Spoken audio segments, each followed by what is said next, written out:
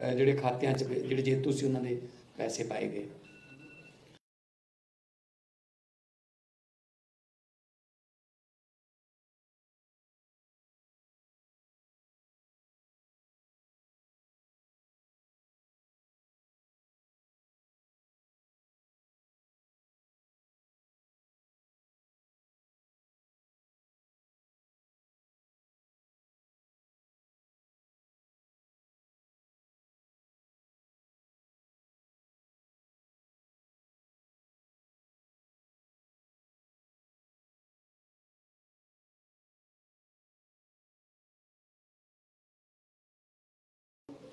ਜਿਹਦੇ ਵਿੱਚ ਅਸੀਂ ਖੋ ਖੋ ਤੋਂ ਲੈ ਕੇ ਸੋਨੇ ਦੇ ਮੈਡਲ ਨੂੰ ਤੇ ਉਸ ਤੋਂ ਬਾਅਦ ਚਾਂਦੀ ਤੇ ਕਾਂਸੀ ਦੇ ਮੈਡਲਾਂ ਨੂੰ। ਤੇ ਨਾਲ ਪਾਰਟਿਸਿਪੇਸ਼ਨ ਦੇ ਵੀ 10 ਲੱਖ ਹੈ ਉੱਥੇ। ਕਿ ਇੰਟਰਨੈਸ਼ਨਲ ਗੇਮ ਦੇ ਵਿੱਚ ਤੁਸੀਂ ਪਾਰਟਿਸਿਪੇਟ ਕੀਤਾ, ਇਹਦੇ ਲਈ ਵੀ 10 ਲੱਖ। ਕ੍ਰਿਕਟ ਦੀ ਟੀਮ ਜਿਹੜੀ ਸਾਡੀ ਮਹਿਲਾਵਾਂ ਦੀ ਸੀ, ਹਰਮਨਪ੍ਰੀਤ ਤੇ ਇੱਕ ਕੁੜੀ ਸਾਡੀ ਪੰਜਾਬ ਦੀ ਦਿਓਲ, ਦੋ ਕੁੜੀਆਂ ਰਿਪਰੈਜ਼ੈਂਟ ਕਰ ਰਹੀਆਂ ਸੀ ਉਸ ਵਰਲਡ ਕੱਪ ਨੂੰ। ਜਿਹੜਾ ਹੋਇਆ ਸੀਗਾ ਉਹਦੇ ਚੋਂ ਸੈਕੰਡ ਨੰਬਰ ਤੇ ਲਏ ਸੀ। ਤਾਂ ਅਸੀਂ ਇੰਡੀਵਿਜੂਅਲੀ ਉਹਨਾਂ ਨੂੰ ਪੈਸੇ ਦਿੱਤੇ। ਤੇ ਇੰਟਰਨੈਸ਼ਨਲੀ ਜਦੋਂ ਹਾਕੀ ਟੀਮ ਨੇ ਚਾਂਦੀ ਦਾ ਮੈਡਲ ਜਿੱਤਿਆ, ਤਾਂ ਅਸੀਂ ਬਜਾਏ ਇਸ ਦੇ ਕਿ ਟੀਮ ਨੂੰ ਦਈਏ, ਜਿੰਨੇ ਪਲੇਅਰ ਪੰਜਾਬ ਦੇ ਸੀ, ਸਾਰਿਆਂ ਨੂੰ 40 40 ਲੱਖ ਰੁਪਏ ਦਿੱਤਾ ਸੀ ਨਾ ਕਿ ਟੀਮ ਨੂੰ ਦਿੱਤਾ ਇੰਡੀਵਿਜੂਅਲੀ ਦਿੱਤਾ ਪੈਸੇ ਦਿੱਤੇ ਸੋ ਅਸੀਂ ਚਾਹੁੰਦੇ ਹਾਂ ਕਿ ਪੰਜਾਬ ਜਿਹੜਾ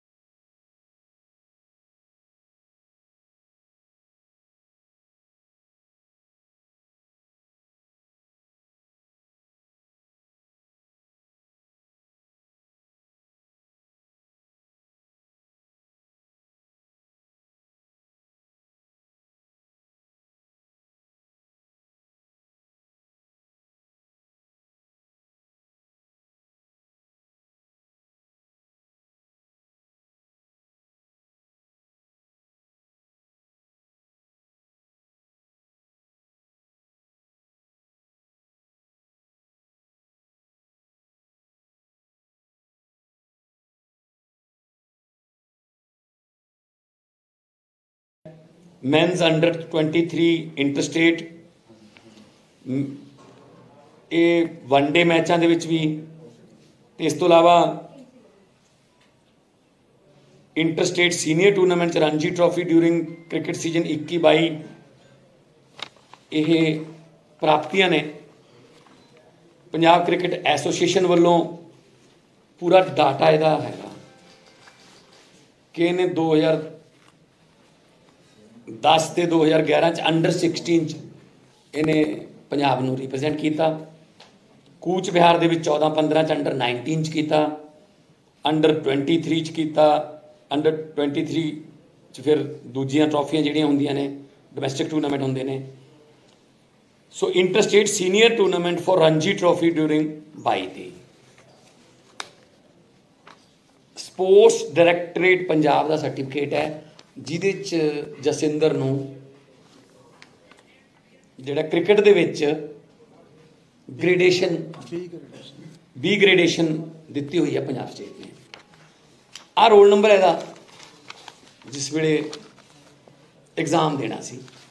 ਰੋਲ ਨੰਬਰ ਤੇ ਬਕਾਇਦਾ ਤੌਰ ਤੇ ਲਿਖਿਆ ਹੋਇਆ ਹੈ Jas Inder Singh Vaidwan fathers name Manjinder Singh category sports person Punjab, bracket ਦੇ ਵਿੱਚ 75 ਇਹ ਸਪੋਰਟਸ ਦਾ ਕੋਡ ਹੈ।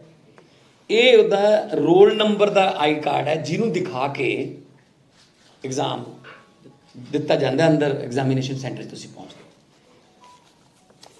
ਤਾਂ ਜਸਿੰਦਰ ਨੇ ਮਿਹਨਤ ਕੀਤੀ, ਪੜ੍ਹਾਈ ਦੇ ਵਿੱਚ ਵੀ ਬਹੁਤ ਵਧੀਆ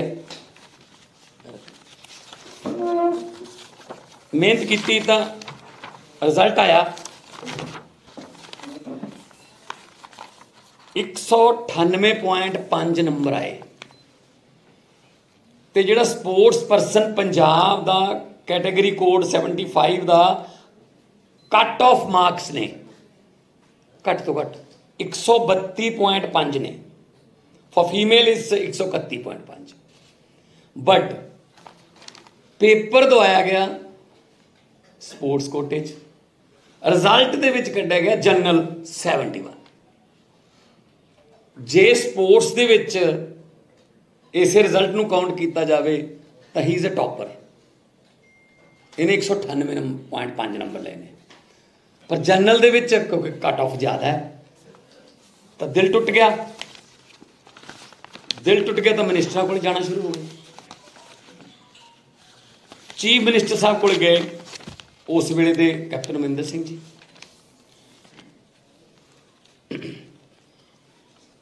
ਕੈਪਟਨ ਅਮਰਿੰਦਰ ਸਿੰਘ ਜੀ ਦੇ ਜਿਹੜੇ ਓਐਸਡੀਸੀ ਕੌਣ ਸੀ? MP Singh MP Singh.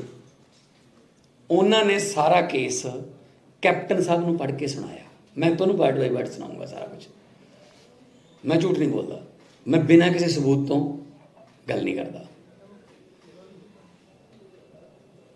ਤਾਂ ਉਹ ਕਹਿੰਦੇ ਜੀ ਕ੍ਰਿਕਟ ਨੂੰ ਤਾਂ ਸਪੋਰਟਸ ਹੀ ਨਹੀਂ ਮੰਨਦੇ ਸੀ ਐਮਪੀ ਸੇ ਜਿਹੜੇ ਡਿਪਾਰਟਮੈਂਟ ਵਾਲਿਆਂ ਨੇ ਕਿਹਾ ਨਾ? ਪੀਪੀਐਸਸੀ ਪੀਪੀਐਸਸੀ ਕਹਿੰਦੇ। ਪੀਪੀਐਸਸੀ ਕਹਿੰਦੀ ਕ੍ਰਿਕਟ ਨੂੰ ਸਪੋਰਟਸ ਨਹੀਂ ਮੰਨਦੇ ਸੀ ਤਾਂ ਕੈਪਟਨ ਸਾਹਿਬ ਕਹਿੰਦੇ ਵੀ ਮੇਰੇ ਤਾਂ ਗ੍ਰੈਂਡਫਾਦਰ ਕ੍ਰਿਕਟ ਖੇਡਦੇ ਰਹੇ ਨੇ। ਉਹ ਲੈ ਕੇ ਉਹੀ ਤਾਂ ਕ੍ਰਿਕਟ ਨੂੰ ਲੈ ਕੇ ਆਏ ਨੇ ਇੱਥੇ। ਤੇ ਸਪੋਰਟਸ ਨੂੰ ਮੰਨਾਂਗੇ। ਤਾਂ ਉਹਨਾਂ ਨੇ ਕਿਹਾ ਵੀ ਤੁਹਾਡਾ ਕੰਮ ਬਣ ਸਕਦਾ ਹੈ। ਤਾਂ ਉਹਨਾਂ ਨੇ ਗ੍ਰਹਿ ਮੰਤਰਾਲੇ ਨੂੰ ਚਿੱਠੀ ਲਿਖੀ ਕਿ ਇਹ ਕੇਸ ਨੂੰ ਕੰਸੀਡਰ ਕੀਤਾ ਜਾਵੇ। ਥੋੜਾ ਦੱਸ ਦਿਓ ਜੀ ਇਸ ਤੋਂ ਬਾਅਦ। ਦੱਸ ਦਿਓ ਦੱਸ ਦਿਓ ਨਾਲ। ਤੁਸੀਂ ਦੱਸੋ ਨਾ ਕੈਬਨਿਟ ਚ ਲਿਆਂਦਾ ਜਾਵੇ ਕੇਸ। ਕਿ ਉਹਨਾਂ ਨੇ ਕਿਹਾ ਕਿ ਅਗਲੀ ਕੈਬਨਿਟ ਦੇ ਵਿੱਚ ਇਹ ਕੇਸ ਲਿਆਵਾਂਗੇ। ਆ ਲੈਟਰ ਹੈ ਰਿਹਾਇਸ਼ ਤੇ ਆਪਣੀ ਰਿਹਾਇਸ਼ ਤੇ ਉਹਨਾਂ ਨੇ ਮਿਲੇ ਤੇ ਤਾਂ ਤੱਥਾਂ ਦੀ ਘੋਖ ਕਰਕੇ ਤਸਦੀਕ ਸ਼ੁਦਾ ਕਾਪੀਆਂ ਸਰਕਾਰ ਨੂੰ ਭੇਜੀਆਂ ਜਾਣ। ਇਹਨਾਂ ਨੂੰ ਇਹ ਕਿਹਾ ਗਿਆ ਕਿ ਅਗਲੀ ਕੈਬਨਿਟ ਦੇ ਵਿੱਚ ਲਿਆ ਕੇ ਤੇ ਇਹ ਐਲੀਜੀਬਲ ਜਿਹੜਾ ਕੇਸ ਹੈ ਇਹ ਤੁਹਾਡਾ ਹੋ ਜਾਊਗਾ ਕੰਮ। ਚਾਹ ਚੜਿਆ, ਪਰ ਕੈਪਟਨ ਸਾਹਿਬ ਬਦਲਦੇ। ਨੌਕਰੀ ਦੇਣ ਵਾਲਾ ਹੀ ਬਦਲ ਗਿਆ। ਚਲੋ, ਕੋਈ ਗੱਲ ਨਹੀਂ। ਚੰਨੀ ਸਾਹਿਬ ਬਣ ਗਏ ਸੀਐਮ ਹੋਰ ਵੀ ਜ਼ਿਆਦਾ ਚਾਹ ਚੜ ਗਿਆ। ਹਲਕਾ ਉਹਨਾਂ ਦਾ ਪੈਂਦਾ। ਹਲਕਾ ਪੈਂਦਾ ਉਹਨਾਂ ਦਾ। ਤਾਂ ਉਹਨਾਂ ਕੋਲੇ ਗਏ ਚੰਨੀ ਸਾਹਿਬ ਕੋਲੇ। ਉੱਥੇ ਐਸੇ ਜਗ੍ਹਾ ਤੇ ਸੀ? ਜਾਂ ਆਪਾਂ ਵਿੱਚ ਜੀ ਹਾਂ। ਆ ਜਿਹੜਾ ਕਮਰਾ ਆ ਇੱਥੇ ਖੜੇ ਸੀ ਇਸ ਤੋਂ ਅੰਦਰ ਮੀਟਿੰਗ ਹਾਂਜੀ। ਇੱਥੇ ਮਿਲੇ। ਤਾਂ ਇੱਥੇ ਕੇਸ ਪੜ੍ਹ ਕੇ ਸੁਣਾਇਆ ਹੁਸਨ ਲਾਲ ਨੇ? ਹੁਸਨ ਨਾਲ ਪ੍ਰਿੰਸੀਪਲ ਸੈਕਟਰੀ ਸਾਹਮਣੇ ਹੁਸਨ ਲਾਲ ਨੇ ਪੜ੍ਹ ਕੇ ਸੁਣਾਇਆ ਜੀ ਪੇਪਰ। ਹਾਂ ਵੀ ਆਹ ਕੇਸ ਹੈ ਜੀ। ਚੰਨੀ ਸਾਹਿਬ ਕਹਿੰਦੇ ਵੀ ਕੰਮ ਤਾਂ ਬਣ ਸਕਦਾ ਹੈ ਤੁਹਾਡਾ। ਕਹਿੰਦੇ ਵੀ ਕਰੋ ਜੀ ਸਰ। ਕਹਿੰਦੇ ਵੀ ਨੌਕਰੀ ਤਾਂ ਬਣਦੀ ਹੈ ਤਾਂ ਅਗਲੀ ਕੈਬਨਿਟ 'ਚ ਅਸੀਂ ਲੈ ਆਵਾਂਗੇ। ਇੱਥੋਂ ਮੋੜ ਆਉਂਦਾ ਇੱਕ ਵੱਡਾ। ਫਿਰ ਉਹਨਾਂ ਨੇ ਕੀ ਕਿਹਾ ਜੀ? ਉਹ ਕਹਿੰਦੇ ਵੀ ਦੱਸੋ ਜਸਿੰਦਰ। ਆਰਾਮ ਨਾਲ ਬੋਲਦੇ ਆਰਾਮ ਨਾਲ। ਉਹ ਕਹਿੰਦੇ ਵੀ ਐਲੀਜੀਬਲ ਹੈ। ਤੇ ਕਿਹਨੂੰ ਮਿਲੋ? ਇਧਰੋਂ ਆਰਾਮ ਨਾਲ ਬੋਲ। ਮੈਨੂੰ ਕਿਹਾ ਗਿਆ ਵੀ ਆਪ ਮੇਰਾ ਨਾਮ ਲੈ। ਪਹਿਲਾਂ ਤਾਂ ਬੁਲਾਇਆ ਗਿਆ ਜੀ। ਇੱਕ ਮਿੰਟ ਬਾਜਵਾ ਸਾਹਿਬ ਪਲੀਜ਼ ਸੁਣ ਲਓ ਸਾਰਿਆਂ 'ਚ ਹੀ ਆਉਂਦਾ ਹੈ। ਮੇਰਾ ਨਾਮ ਲੈ ਕੇ ਬੋਲਿਆ ਗਿਆ ਅੰਦਰੋਂ ਵੀ ਇੱਥੇ ਖੜ ਕੇ ਕੌਣ ਆ? ਮੈਂ ਹੱਥ ਖੜਾ ਕੀਤਾ ਤਾਂ ਫਿਰ ਮੈਨੂੰ ਬਾਹਰ ਲੈ ਜਾ ਗਿਆ। ਬਾਕੀ ਦੱਸਣਗੇ ਸੀਐਮ ਸਾਹਿਬ ਨੂੰ ਮੈਂ ਸਾਰਾ। ਇਹ ਕੀ ਕਿ ਭਤੀਜੇ ਨੂੰ ਮਿਲੋ ਹਾਂਜੀ ਸਰ ਉਹ ਕਿ ਗੱਡੀ ਜਦੋਂ ਨਹੀਂ ਕਹਿੰਦੇ ਮੇਰੇ ਭਤੀਜੇ ਨੂੰ ਮਿਲ ਲਓ ਤੇ ਕੰਮ ਬਣ ਜਾਊਗਾ। ਤੇ ਭਤੀਜੇ ਨੇ ਕਾਗਜ਼ ਦੇਖੇ। ਭਤੀਜਾ ਸੀ ਕੌਣ ਨਾਂ ਸੀ ਉਹਦਾ। ਜਸ਼ਨ ਸ਼ਾਇਦ ਜਸ਼ਨ ਜਸ਼ਨ। ਜਸ਼ਨ ਸੀ ਸ਼ਾਇਦ ਨਾਮ ਦਾ ਉਹ ਕਹਿੰਦਾ ਵੀ ਤੁਹਾਡਾ ਕੰਮ ਬਣ ਜਾਊਗਾ। ਆਈ ਸੀ? ਕਿ ਆਈ ਕਿਹਾ ਸੀ ਬਿੱਟੂ ਜੀ ਆਈ ਕਿਹਾ ਸੀ? ਵੀ ਇੰਨੇ ਲੱਗਣਗੇ। ਇਹਨਾਂ ਨੂੰ ਹੋਰ ਚਾ ਚੜ ਗਿਆ। ਇਹ ਤਾਂ ਕਹਿੰਦੇ ਜੀ ਹੁਣ ਲੈ ਆਉਣੇ ਤਾਂ ਤੋਂ 10 20 ਕਿਲੋਮੀਟਰ ਤਾਂ ਪਿੰਡ ਹੈ। ਕਹਿੰਦੇ ਨਹੀਂ ਨਹੀਂ ਨਹੀਂ ਕੋਈ ਨਹੀਂ ਤੁਸੀਂ ਟਾਈਮ ਲੈ ਲਓ। ਪਰਸੋਂ ਨੂੰ ਮੀਟਿੰਗ ਹੋਊਗੀ। ਫਿਰ ਕੈਬਨਿਟ ਦੀ ਨੈਕਸਟ ਮੀਟਿੰਗ ਪਰਸੋਂ। ਕੈਬਨਿਟ ਦੀ ਨੈਕਸਟ ਮੀਟਿੰਗ ਪਰਸੋਂ ਉਦੋਂ ਤੱਕ ਤੁਸੀਂ ਅਰੇਂਜ ਕਰ ਲਓ। ਇਹ ਕਹਿੰਦੇ ਵੀ ਤਾਂ ਗੱਲ ਹੀ ਕੋਈ ਨਹੀਂ ਸੀ ਚਲੋ ਕੋਈ ਨਹੀਂ ਪਰਸੋਂ ਨੂੰ ਮਿਲ ਲਾਂਗੇ। ਪਰਸੋਂ ਨੂੰ ਆ ਗਏ ਜੀ। ਤਾਂ ਉੱਥੇ ਉਹਨਾਂ ਦਾ ਜਿਹੜਾ ਭਤੀਜਾ ਸੀਗਾ ਉਹ ਕਹਿੰਦਾ ਆਓ ਜੀ ਫਿਰ ਗੱਡੀ ਚੱਲੀਏ। ਤੁਹਾਡੀ ਨੌਕਰੀ ਦਾ ਟਾਈਮ ਆ ਗਿਆ। ਗੱਡੀ। ਇਹ ਕਹਿੰਦੇ ਗੱਡੀ ਤਾਂ ਬਹੁਤ ਦੂਰ ਖੜੀ ਹੈ। ਇਹ ਸੀ ਨਾ? ਜੀ। ਵੀ ਕਹਿੰਦੇ ਹਿਸਾਬ ਕਿਤਾਬ ਫਿਰ ਕਿਤੇ ਕਰਾਂਗੇ? ਕਹਿੰਦੇ ਇੱਥੇ ਕਰ ਲੈਣੇ ਐਡੀ ਕਿ ਦੂਰ ਕਿੱਥੇ ਜਾਣਾ? ਕਹਿੰਦੇ ਨਹੀਂ ਫਿਰ ਜਿਹੜਾ ਹਿਸਾਬ ਕਿਤਾਬ ਹੈ। ਕਹਿੰਦੇ ਮੇਰੀ ਜੇਬ 'ਚ ਹੀ ਹੈ। ਉਹ ਹੈਰਾਨ ਹੋ ਗਿਆ ਵੀ ਐਂ ਵਾਲਾ ਕਿਤੇ ਜੇਬ 'ਚ ਹੀ ਆ ਜਾਂਦਾ ਹੁੰਦਾ ਇਹ ਕਹਿੰਦੇ ਮੇਰੀ ਜੇਬ 'ਚ ਹੀ ਹੈ। ਜਦੋਂ ਇਹਨਾਂ ਨੇ ਦਿਖਾਇਆ ਆਮ ਸਧਾਰਨ ਘਰਾਂ ਲਈ ਤਾਂ ਜੀ ਉਹ ਵੀ ਬਹੁਤ ਜ਼ਿਆਦਾ ਹੈ ਇੱਥੇ ਲੋਕ ਠੀਕਰੀਆਂ ਨਹੀਂ ਗਿਣਦੇ ਇੰਨੀਆਂ ਜਿੰਨੀਆਂ ਉਹ ਕਹਿੰਦੇ ਸੀ ਇਹਨਾਂ ਕੁਝ ਵੀ ਨਹੀਂ ਹੁੰਦਾ ਤਾਂ ਇਹਨਾਂ ਨੇ ਜਦੋਂ ਦਿਖਾਇਆ ਉਹ ਕਹਿੰਦਾ ਵੀ ਖੜ ਜਾਓ ਇੱਥੇ ਉਸ ਤੋਂ ਬਾਅਦ ਉਹਨਾਂ ਨੇ ਅੰਦਰ ਸੀਐਮ ਸਾਹਿਬ ਨੂੰ ਦੱਸਿਆ ਚੰਨੀ ਸਾਹਿਬ ਨੂੰ ਚੰਨੀ ਸਾਹਿਬ ਬਾਹਰ ਆ ਕੇ ਇਹਨਾਂ ਨੂੰ ਕਹਿੰਦੇ ਨੇ ਕਿ ਤੁਹਾਡਾ ਮੁੰਡਾ 올림픽 ਚੰਪ- ਅਹ ਉਹ ਇੱਥੇ ਮੈਂ ਅਸੀਂ ਖੜੇ ਸੀ ਕਾਫੀ ਹੋਰ ਖੜੇ ਸੀ ਮੇਰੇ ਦੋ ਦੋ ਦੋ ਤਿੰਨ ਦੋਸਤ ਵੀ ਆਏ ਹੋਏ ਵੀ ਨਾਲ ਖੜੇ ਸੀਗੇ ਇੱਥੇ। ਬਾਹਰੋਂ ਆਏ ਇੱਕੋ ਦਮ ਵੀ ਤੇਰਾ ਮੁੰਡਾ ਬਹੁਤ 올림픽 ਖੇਡਿਆ ਵੀ 골ਡ ਮੈਡਲ ਜਿੱਤਿਆ ਹੈ ਤੈਨੂੰ ਮੈਂ ਨੌਕਰੀ ਦੇ ਦਮ ਮਤਲਬ ਨੌ ਕਾਫੀ ਕੁਝ ਬੋਲੇ ਹੋ ਅਸੀਂ ਠੰਡੇ ਹੋ ਗਏ ਮੈਂ ਇਸ ਚੀਜ਼ ਤੇ। ਚੰਨੀ ਸਾਹਿਬ ਨੇ ਕਹੇ ਚੰਨੀ ਸਾਹਿਬ ਨੇ ਇਸ ਜਗ੍ਹਾ ਤੇ। ਤੇ ਇਲਾਕੇ ਦੇ ਜਿਹੜੇ ਸਾਡੇ ਐਮਐਲਏ ਸੀ ਉਹ ਵੀ ਕੋਲ ਖੜੇ ਸੀ ਬਲਵੀਰ ਸਿੰਘ ਸਿੱਧੂ। ਤੁਸੀਂ ਸਾਰੇ ਜਿਹੜੇ ਉਹਨਾਂ ਨੂੰ ਪੁੱਛ ਲਓ ਕਿ ਇਹ ਘਟਨਾ ਹੋਈ ਸੀ ਕਿ ਨਹੀਂ ਹੋਈ ਸੀ? ਉਹ ਨਾਲ ਸੀ ਉਦੋਂ ਜਦੋਂ ਉੱਠ ਕੇ ਆਏ ਬਾਹਰ। ਪੈਸੇ ਪਹਿਲਾਂ ਜਸ਼ਨ ਨੇ ਜਸ਼ਨ ਨੇ ਮੰਗੇ ਸੀ। ਦੇਖੋ ਮੈਂ ਸੀਐਮ ਸਾਹਿਬ ਨੇ ਸਾਰਾ ਕੁਝ ਦੱਸਤਾ। ਹਾਂਜੀ। ਉਹ ਦੱਸਤਾ ਜੋ ਜਸ਼ਨ ਨੇ ਕਹਿ ਦੋ ਇਹ 2 ਲੱਖ ਲੈ ਕੇ ਆ ਗਏ। ਇਹ ਕੱਲ ਉਦੋਂ ਕਿਸੇ ਨੂੰ ਡਿਸਕਲੋਜ਼ ਤਾਂ ਨਹੀਂ ਕੀਤੀ ਵੀ ਉਹ ਸਾਡੇ ਲਈ ਤਾਂ ਦੇਖੋ ਜੀ 3 ਸਾਲਾਂ ਤੋਂ ਘਸ ਰਹੇ ਸੀਗੇ ਵੀ ਆ ਕੀ ਚੀਜ਼ ਹੈ 2 ਸਾਲਾਂ ਤੋਂ ਲਗਾਤਾਰ। ਕਿਹੜੀ ਪੋਸਟ ਵਾਸਤੇ ਮੰਗਦੇ ਸੀ ਤੁਹਾਨੂੰ ਜਿਹੜੀ ਦੱਸਤਾ ਡਿਜ਼ਰਵ ਕਰਦੀ ਹੈ ਆ ਜੀ ਪੀਪੀਐਸ ਜਿਹੜੀ ਮੈਂ ਹੁਣ ਦੇਵਾਂਗਾ ਪੋਸਟ ਤਾਂ ਉਹੀ ਹੈ ਨਾ ਜੀ। ਪੀਪੀਐਸਸੀ ਲਈ ਸੀ ਸਪੋਰਟਸ ਕੋਟੇ ਚੋਂ ਪੀਪੀ ਪੀਪੀਐਸਸੀ ਦਾ ਜਿਹੜਾ ਕਲੀਅਰਡ ਹੈ ਉਹਨੂੰ ਜਿਹੜੀਆਂ ਪੋਸਟਾਂ ਮਿਲਣਗੀਆਂ ਅਸੀਂ ਸਪੋਰਟਸ ਡਿਪਾਰਟਮੈਂਟ ਤੇ ਹੋਮ ਡਿਪਾਰਟਮੈਂਟ ਨਾਲ ਗੱਲ ਕਰਾਂਗੇ। ਅਸੀਂ ਤਾਂ ਦੇਵਾਂਗੇ ਪਰ 3.5 ਸਾਲ ਹੋ ਗਏ ਜੀ। ਕੀ ਆਹ ਚੀਜ਼ ਸਾਡੇ ਜ਼ਿੰਦਗੀਆਂ ਬਰਬਾਦ ਕਰ ਦੋਗੀ ਚੰਨੀ ਸਾਹਿਬ ਨੇ ਜਾ ਕੇ ਸਹੁੰ ਖਾਦੀ ਸੀ ਹੁਣ। ਵੀ ਪਲੇਅਰ ਪੇਸ਼ ਕਰੋ ਆ ਲਓ ਜੀ ਪਲੇਅਰ ਆਈ ਝੂਠ ਬੋਲਦੇ ਨੇ ਇਹ ਪਰਿਵਾਰ। ਭਗਤਾਂ ਦਾ ਪਰਿਵਾਰ ਮੰਨਿਆ ਜਾਂਦਾ ਹੈ ਪਿੰਡਾਂ 'ਚ ਇਹਨਾਂ ਨੂੰ ਕਹਿੰਦੇ ਨੇ। ਭਗਤ ਦਾ ਪਰਿਵਾਰ, ਰੱਬ ਨੂੰ ਮੰਨਣ ਵਾਲੇ, ਸੇਵਾ ਕਰਨ ਵਾਲੇ ਲੋਕ ਨੇ। ਦੋਹੇ ਟਾਈਮ ਸਰਬੱਤ ਦਾ ਭਲਾ ਮੰਗਣ ਵਾਲਾ ਪਰਿਵਾਰ ਹੈ। ਇਹਨਾਂ ਨੂੰ ਕੀ ਪਤਾ ਸੀਗਾ ਵੀ ਐ ਇਹਦਾ ਮਤਲਬ ਕੋਈ ਹੋਰ ਹੁੰਦਾ? ਉਹ ਕਹਿੰਦਾ ਵੀ ਇਹਦਾ ਮਤਲਬ 2 ਕਰੋੜ ਸੀਗਾ। ਗੱਡੀ ਜਾ ਕੇ ਸਾਬ ਹੋਏ ਕਹਿੰਦੇ ਮੇਰੀ ਜੇਬ 'ਚ ਹੈ। ਉਹ ਕਹਿੰਦੇ ਜੇਬ 'ਚ ਆ ਹੀ ਨਹੀਂ ਸਕਦਾ ਜਿਹੜਾ ਅਸੀਂ ਚਾਹੁੰਦੇ ਹਾਂ। ਠੀਕ ਹੈ ਜੀ? ਜਸ਼ਨ ਨਾਂ ਦਾ ਭਤੀਜਾ ਕੋਈ ਹੋਊਗਾ। ਚੰਨੀ ਸਾਹਿਬ ਨੂੰ ਮੈਂ ਫੇਰ ਮੌਕਾ ਦੇ ਦੇਣਾ ਜਸ਼ਨ ਬਾਰੇ ਪੁੱਛ ਲੈ ਹੁਣ ਕੌਣ ਹੈ ਹਾਲਾਂਕਿ ਚੰਨੀ ਸਾਹਿਬ ਨੇ ਕਿਹਾ, ਮੈਂ ਸਾਰੇ ਰਿਸ਼ਤੇਦਾਰਾਂ ਨੂੰ ਪੁੱਛ ਲਿਆ, ਇਹਦਾ ਮਤਲਬ ਕੰਮ ਕਰਦੇ ਸੀ ਉਹ ਨਾ।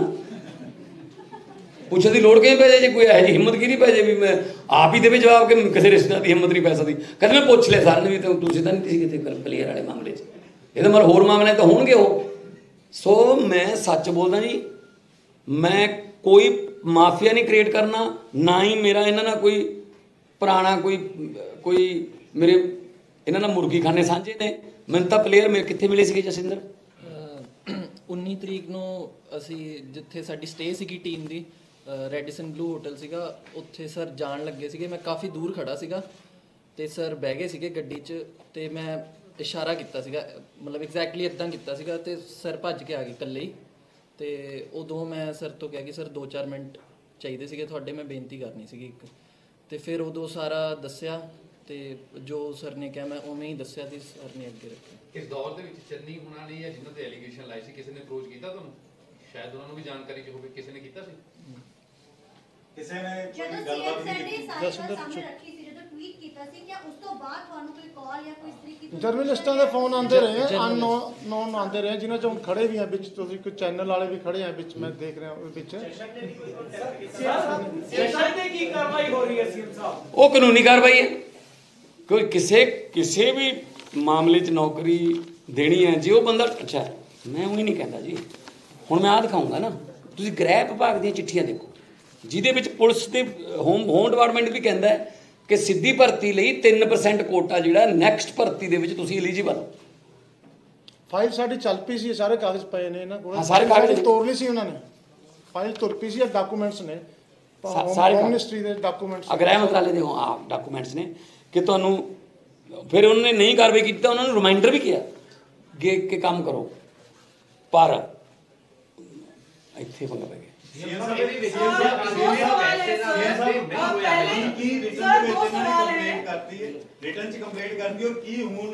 ਦੇਖੋ। ਦੇਖੋ, ਇਹ ਜਿਹੜੇ ਤੁਹਾਡੇ ਸਾਹਮਣੇ ਬੈਠੇ ਆ ਰਿਟਰਨ ਨਹੀਂ ਹੁੰਦਾ। ਜਦੋਂ ਟੀਵੀ ਤੇ ਆ ਕੇ ਇਹਨਾਂ ਨੇ ਦੱਸਤਾ, ਮੈਂ ਤੁਹਾਡੇ ਸਾਹਮਣੇ ਇੱਕ ਵਾਰੀ ਤਸਦੀਕ ਕਰਾ ਦਿੰਨਾ ਕਿ ਜੋ ਮੈਂ ਬੋਲਿਆ ਜਸਿੰਦਰ ਤੇ ਉਹਨਾਂ ਦੇ ਪਿਤਾ ਜੀ ਬੈਠੇ ਨੇ। ਜੋ- ਮੈਂ ਬੋਲਿਆ ਤੁਸੀਂ ਉਹ ਚੋਂ ਉਹ ਕੋਈ ਅਮੈਂਡਮੈਂਟ ਜਾਂ ਚੋਂ ਗਲਤ ਗੱਲ ਕਹੀ ਹੈ। ਜੋ ਸੀਐਮ ਸਾਹਿਬ ਨੇ ਬੋਲਿਆ ਇਨ ਬਿਨ ਸਾਡੀ ਆਵਾਜ਼ ਬੋਲੀ। ਹੁਣ ਕਾਰਵਾਈ ਹੋਏਗੀ ਉਹ ਤਾਂ ਜੀ ਉਹ ਤਾਂ ਜੀ ਸਾਡਾ ਕੰਮ ਹੈ ਨਾ ਹੁਣ। ਉਹ ਤਾਂ ਉਹ ਤਾਂ ਸਾਡਾ ਕੰਮ ਹੈ। ਪਰ ਨਾਟ ਓਨਲੀ ਕਾਰਵਾਈ ਡਿਜ਼ਰਵਿੰਗ ਪਲੇਅਰ ਨੂੰ ਨੌਕਰੀ ਕਿਉਂ ਨਹੀਂ ਮਿਲੀ? ਇਹਦੇ ਵਾਸਤੇ ਅਫਸਰਾਂ ਹਾਲਾਂਕਿ ਅਫਸਰਾਂ ਤਾਂ ਦੱਸਿਆ ਇਹਨਾਂ ਨੇ ਕੋਈ ਉਹਨਾਂ ਨੂੰ ਤਾਂ ਪੜ੍ਹ ਕੇ ਸੁਣਾਤਾ ਸੀ। ਐਲੀਜੀਬਲ ਕੇਸ ਹੈ ਜੀ। ਪ੍ਰੋਬਲਮ ਅਫਸਰਾਂ ਦੀ ਨਹੀਂ ਹੁੰਦੀ। ਅਫਸਰ ਤਾਂ ਜੋ ਕਹੂਗਾ, ਉਹ ਕਰ ਦਿੰਦੇ ਨੇ। ਪ੍ਰੋਬਲਮ ਇੱਥੇ ਭਤੀਜੇ, ਭਾਣਜੇ, ਜਵਾਈ, ਭਾਈ, ਸਾਲੇ, ਹੈਨਾ? ਉਹਨਾਂ ਤੇ ਪੰਗਾ ਪੈਂਦਾ ਹੁਣ ਉਹਦੇ ਕੋਲੇ ਕਿਹੜੀ ਕਨਸਟੀਟਿਊਸ਼ਨ ਪੋਸਟ ਸੀ, ਐ ਕਹਿਣ ਵਾਲੇ ਕੋਲੇ? ਪੋਸਟ ਦਿੱਤੀ ਗਈ ਨਾ ਉਹਨੂੰ। ਪਹਿਲੀ ਗੱਲ ਤਾਂ ਜੇ ਚ- ਨੌਕਰੀ ਦੇਣੀ ਸੀ ਐਲੀਜੀਬਲ ਹੈ ਭਾਈ, ਲਿਆਓ ਵੀ। ਹੁਸਨ ਲਾਲ ਜੀ ਰეკਮੈਂਡ ਕਰੋ। ਅਗਲੀ ਕੈਬਨਿਟ ਚ ਲੈ ਕੇ ਖਤਮ ਕਰੋ ਇਹਨੂੰ ਮਾਮਲੇ। ਨੂੰ।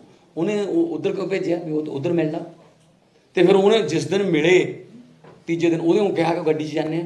ਉਹ ਕੀ ਕਹਿੰਦੇ ਇੱਥੇ ਹੀ ਕਰ ਲੈਣੇ ਆਪਾਂ ਸਾਹਿਬ ਉਹ ਤਾਂ ਮੇਰੀ ਜੇਬ 'ਚ ਹੀ ਹੈ ਥੋੜਾ ਕਲੀਅਰ ਕਰ ਦਿਓ ਸੀਐਮ ਸਾਹਿਬ ਐਫ ਆਈ ਆਰ ਚੰਨੀ ਤੇ ਹੋਊ ਤੇ ਭਤੀਜੇ ਦੇ ਨਾਲ ਹੋਊ ਜਾਂ ਦੋਨਾਂ ਤੇ ਹੋਊ? ਤੁਸੀਂ ਤਾਂ ਹੁਣ ਜੇਲ੍ਹ ਵੀ ਕਲੀਅਰ ਕਰਾਉਣ ਨੂੰ ਫਿਰਦੇ ਹੋ। ਥੋੜਾ ਟਾਈਮ ਤਾਂ ਦਿਓ ਨਾ ਹੁਣ। ਪਹਿਲਾਂ ਆ ਤਾਂ ਕਲੀਅਰ ਕਰਤਾ ਨਾ ਤੁਸੀਂ ਕਹਿੰਦੇ ਸੀ ਆਊਗਾ ਪਲੇਅਰ ਜਾਂ ਨਹੀਂ? ਕਾਊਂਟਡਾਊਨ ਸ਼ੁਰੂ 27 ਮਿੰਟ 29 ਸੈਕਿੰਡ ਰਹਿ ਗਏ। ਐਦਾਂ ਨਹੀਂ ਕਰੀਦਾ ਹੁੰਦਾ ਕਾਲੀ ਨਹੀਂ ਕਰੀਦੀ ਹੁੰਦੀ। ਮੈਂ ਪਹਿਲਾਂ ਵੀ ਕਹਿਣਾ ਆਰਾਮ ਨਾਲ ਅੰਦਰ ਜਾਣਗੇ ਸਾਰੇ ਹੀ ਜਾਣਗੇ। ਪਰ ਮੈਂ ਆਪਣੇ ਵੱਲੋਂ 31 ਮਈ 2 ਵਜੇ ਦਾ ਟਾਈਮ ਤਾਂ ਦਿੱਤਾ ਸੀ। ਹੋ ਸਕਦਾ ਚੰਨੀ ਸਾਹਿਬ ਨੂੰ ਅਹਿਸਾਸ ਹੋ ਜੇ। ਕਿਤੇ ਐਂ ਕਹਿ ਦੇਣ, ਹਾਂ ਯਾਰ, ਭੀੜ 'ਚ ਮੈਥੋਂ ਕਿਤੇ ਕਿਹਾ ਗਿਆ ਹੋਣਾ। ਪਰ ਜਾ ਕੇ ਸਹੁੰ ਚੁੱਕ ਲਈ ਕਤਲਗੜ੍ਹ ਸਾਹਿਬ। ਤੇ ਜੇ ਮਾਫੀ ਮੰਗਣੀ ਹੈ, ਮੈਂ ਨਹੀਂ ਹੈਗਾ, ਮੈਂ ਕੌਣ ਮਾਫ ਕਰਨ ਵਾਲਾ? ਮਾਫੀ ਉੱਥੋਂ ਹੀ ਮੰਗੋ ਗੁਰੂ ਦੇ ਦਰ ਚੋਂ। ਮਾਫੀ ਉੱਥੇ ਹੀ ਮੰਗੋ ਵੱਡੇ ਸਾਹਿਬ ਦੀ ਧਰਤੀ ਤੋਂ। ਜਿੱਥੇ ਤੁਸੀਂ ਜਾ ਕੇ ਸਹੁੰ ਚੁੱਕੀ ਹੈ ਕਿ ਮੈਂ ਕਿਸੇ ਖਿਡਾਰੀ ਨੂੰ ਨਹੀਂ ਮਿਲਿਆ। ਇੱਕ ਮਿੰਟ ਇੱਕ ਮਿੰਟ ਇੱਕ ਮਿੰਟ ਇੱਕ ਮਿੰਟ ਜੀ, ਇੱਕ ਮਿੰਟ। ਮੈਂ ਕਿਸੇ ਖਿਡਾਰੀ ਨੂੰ ਜੋ ਉਹਦੇ ਬਾਪ ਨੂੰ ਨਹੀਂ ਮਿਲਿਆ।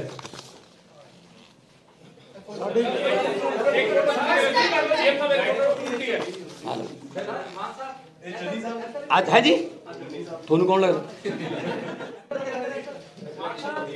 ਇਹ ਹੈ ਜੀ? ਹਾਂ ਹੈਗੇ ਜੀ। ਪੁੱਛੋ ਤੁਸੀਂ ਉਹਨਾਂ ਨੂੰ ਅੱਜ ਪੁੱਛੋ ਸਾਰੇ। ਵੀ ਤੁਸੀਂ ਹੈ ਸੀ ਕਿ ਨਹੀਂ ਸੀਗੇ। ਤੁਸੀਂ ਪੁੱਛੋ ਤੁਸੀਂ ਮੀਡੀਆ ਤੁਸੀਂ ਪੁੱਛੋ ਉਹਨਾਂ ਨੂੰ। ਤੁਸੀਂ ਬਲਬੀਰ ਸਿੱਧੂ ਨੂੰ ਪੁੱਛਿਆ ਵੀ ਇੱਥੇ ਹੈਗੇ ਸੀ? ਔਰ ਤਰੀਕ ਵੀ ਦੱਸ ਦਿੰਨੇ ਕੀ ਕੀ ਹਾਂ ਕਰ ਉਸ ਦਿਨ ਵੀ ਸੀ। ਕੀ ਕਰਨ ਆਏ ਸੀ? ਸਮਝ ਆਰਾਮ ਆਰਾਮ ਜ਼ਿਲ੍ਹਾ ਸਿਵਲ ਹਸਪਤਾਲ ਸਾਹਿਬਜ਼ਾਦਾ ਅਜੀਤ ਸਿੰਘ ਨਗਰ ਦਾ ਨੀਂਹ ਪੱਥਰ ਸਰਜਾ ਚੰਨੀ ਸਿੰਘ ਚੰਨੀ ਮਾਨਯੋਗ ਮੁੱਖ ਮੰਤਰੀ ਪੰਜਾਬ ਜੀ ਵੱਲੋਂ ਸ਼੍ਰੀ ਓਪੀ ਸੋਨੀ ਲੋ ਮਾਨਯੋਗ ਉਪ ਮੁੱਖ ਮੰਤਰੀ ਪੰਜਾਬ ਅਤੇ ਸਰਦਾਰ ਬਲਵੀਰ ਸਿੰਘ ਸਿੱਧੂ ਐਮਐਲਏ ਐਸਐਸ ਨਗਰ ਦੀ ਹਾਜ਼ਰੀ ਚ ਮਿਤੀ 9 11 2021 ਨੂੰ ਆਪਣੇ ਘਰ ਕਮਲਾ ਨਾਲ ਕੀਤਾ ਗਿਆ ਹੈ। ਇਹ ਉੱਥੇ ਦੀ ਫੋਟੋ ਹੈ ਜੀ। ਸੋਨੀ ਸਾਹਿਬ ਦੀ ਵੀ ਨਾਲ ਹੀ ਹੈ। ਹੈ ਜੀ? ਸੋਨੀ ਸਾਹਿਬ ਦੀ ਵੀ ਨਾਲ ਫੋਟੋ ਵਿੱਚ ਸੋਨੀ ਸਾਹਿਬ ਦੀ ਨਾਲ ਹੀ ਹੈ। ਇਹ ਕਿਸੇ ਨੇ ਖਿੱਚੀ ਹੈ ਜਰਨਲਿਸਟ ਇਹ ਕਿਸੇ ਨੇ ਖਿੱਚੀ ਹੈ ਫੋਟੋ ਕਿਉਂਕਿ ਸਾਡੀ 10 ਮਿੰਟ ਮੀਟਿੰਗ ਹੋਈ ਲਗਾਤਾਰ। ਉੱਥੇ ਖੜ ਕੇ ਪਹਿਲਾਂ ਵੀ ਹੋ ਚੁੱਕੀ ਸੀ ਜਿਹੜੀ ਸੁਣੀ ਗਈ ਹੈਗੀ ਆ। ਸਿੱਧੂ ਨੇ ਤਾਂ ਜਵਾਬ ਹੀ ਦਿੱਤਾ ਕਹਿੰਦਾ ਮੈਥੋਂ ਤਾਂ ਹੋਣਾ ਨਹੀਂ ਕੰਮ ਇਹ।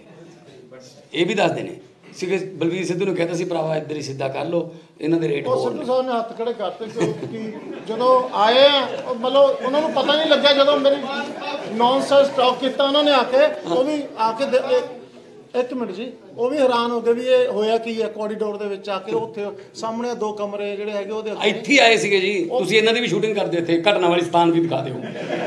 ਥੈਂਕ ਯੂ ਵੈਰੀ ਮਚ ਅਸੀਂ ਪ੍ਰੋਸੈਸ ਸਪੋਰਟਸ ਡਿਪਾਰਟਮੈਂਟ ਤੇ ਹੋਮ ਡਿਪਾਰਟਮੈਂਟ ਦੇ ਵਿੱਚ ਇਹ ਜਿਹੜੀ ਐਲੀਜੀਬਿਲਟੀ ਹੈ, ਉਹਦੇ ਜਿਹੜੇ ਸਾਰੇ ਟੈਸਟ ਨੇ, ਉਹ ਆਲਰੇਡੀ ਗਵਰਨਮੈਂਟ ਵੱਲੋਂ ਕਲੀਅਰ ਕੀਤਾ ਹੋਇਆ ਹੈ।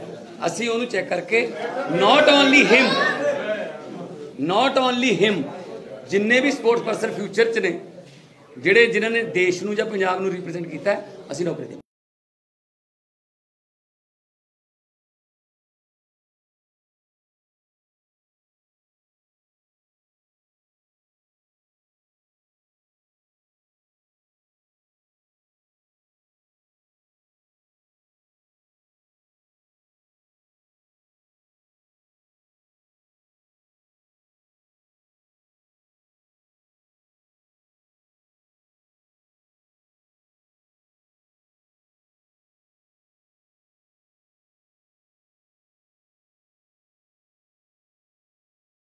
ਸੀਐਮ ਸਾਹਿਬ ਸੀਐਮ ਸਾਹਿਬ